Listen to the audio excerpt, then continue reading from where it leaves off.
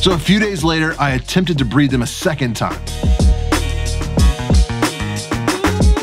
That turned out to be a mistake as it ended fatally for the male. I was pretty bummed out because I wasn't sure if it was successful or not. I patiently waited for weeks, which turned into months, and I really wasn't seeing anything that was indicative of a successful pairing. I mean, she was really plump, but she also ate the male, so I figured maybe she just was full. But a few weeks ago, she started doing some strange things. But about a week before I headed to Virginia Beach, she started doing a lot of digging and rearranging on the right side of her enclosure. I wasn't really sure what was happening until I saw her abdomen begin to deflate and this pool of yellow goo spread out all underneath her. And having never actually seen a tarantula lay eggs or make an egg sac, at first I was concerned that maybe she somehow ruptured her abdomen. But upon closer examination, I could see hundreds of little tiny eggs in that yellow goop. And then she started webbing it all up.